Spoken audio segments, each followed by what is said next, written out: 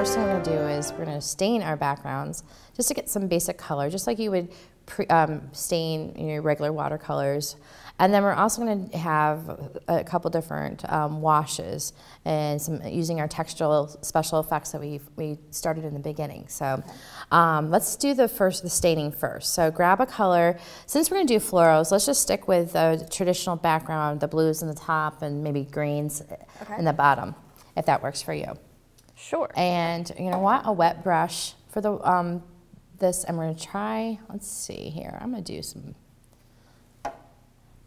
Let's try this blue. You can mix it too, it doesn't have to be all one. All right, so for this stain, we're gonna try another special effect. And again, we've already cleaned our background up a little bit, but I can still see a little bit of um, marks, but that's all right. It kind of adds to um, the, when it dries, you'll see some really interesting pools of color. And um, that, I think that just adds to like the intrigue. So are we going all the way to the edges of the paper? Yeah, all, the way, all the way to the edges. Okay. Okay.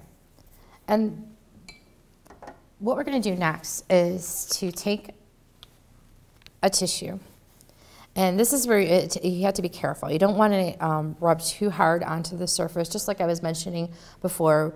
Um, if you rub too hard with a, a with a um, paper product, you can get a lot of lint into your papers, which I'll show. Um, but you're just going to drop it onto your sky and use your brayer and just kind of rub it back. And you'll get some interesting marks for your sky. Isn't that cool? Oh, the, that's neat. Yeah. And if you're, um, as I mentioned earlier, if you're using saran wrap, you could use that too. That's another option. And we're just going to get some texture. So it almost looks like clouds.